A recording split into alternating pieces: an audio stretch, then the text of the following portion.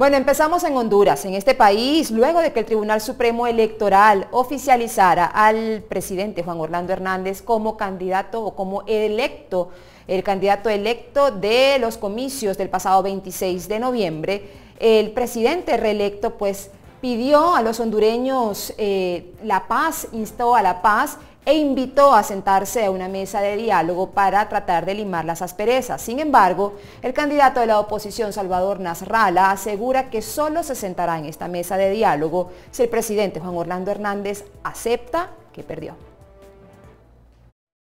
El presidente reelecto Juan Orlando Hernández presentó los principales lineamientos que tendrá la propuesta de un diálogo nacional y junto a representantes de diversos sectores del país definió la hoja de ruta para que los hondureños limen las asperezas y divisiones que surgieron con la contienda política.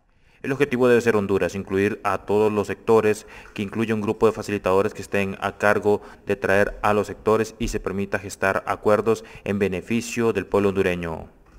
Parte del acuerdo debe ser el orden político, pero también se debe recordar que las protestas iniciaron pacíficas y ahora son violentas, poniendo en peligro la vida y la economía del pueblo hondureño.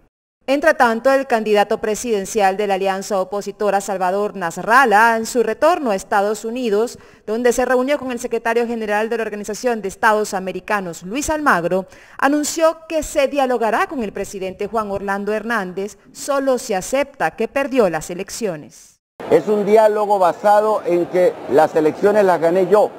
Me reuniré con él sí y solo si él acepta que en el conteo él perdió las elecciones y tenemos que ir a una nueva elección. De lo contrario, no hay diálogo.